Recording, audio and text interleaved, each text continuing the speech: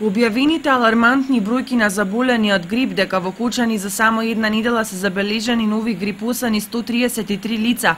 Граѓаните велат дека повеќе се свртуваат кон лекување со чаеви и природни лекови, отколку на лекарски рецепти и вакцини. За разлика од порано кога во сезона на грип тие во аптеките се купуваа неразлични лекови и витамински препарати, а пред се антибиотици на своја рака, сега состојбите се менуваат. Чаеви на природна база, ја мислам подобро отколку на тие лекарства, што можем да, да се каже и дека сега што се вика и многу со лекарство не знам, ама јас сум еве да речем вакциниран против грип. Сега тај свинскиот грип што го вика, што ја знам.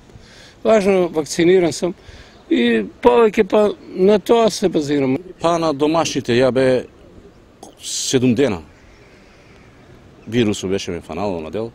Ама нешто и, и, и лекарства, чаеви и лекарства нешто. Значи верувате на домашната терапија? Да, да. И билките и лекарите, па, исто е. И они се нели учени човеци, не се... Еве, вие стрикно како се лекувавте од грипот? С чаеви. С чаеви и овие АЦЦ, што се, и тоа делува добро. И така.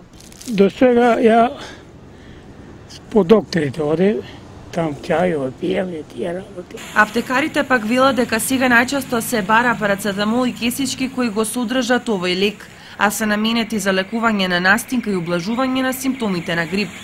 Дека кочанчани се свртуваат кон природата и билките кои таа ги нуди, говори и фактот што на градскиот пазар порано имаше само една тезга на која се продаваа лековити билки, а сега има најмалку четири.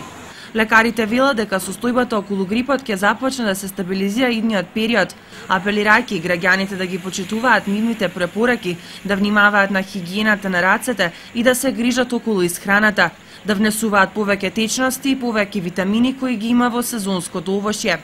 Инаку според најновите информации од Центарот за јавно здравје, од вкупниот број заболени од грип најмногу се на возраст од 15 до 64 години.